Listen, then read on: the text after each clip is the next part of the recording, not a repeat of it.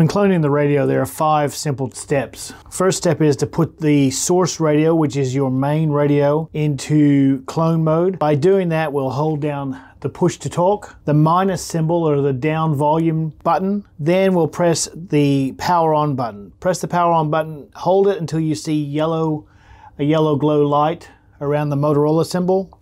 So, so we're now in cloning mode. You also hear an acknowledgement noise through the earpiece.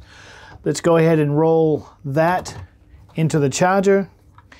Now, as far as the target radio or the radio that you want to clone to the master. So with the target radio, let's turn it on. And let's place it into the charging pocket. Keep in mind you're using the pockets that have clone on the bottom of them. So we'll roll that in we're good to go.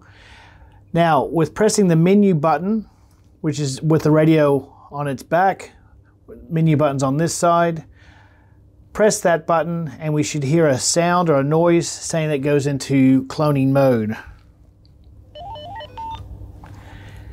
And we're done. Turn the target radio off. So we can take it out of charge, turn the target radio off. Then we turn it back on to activate the radio.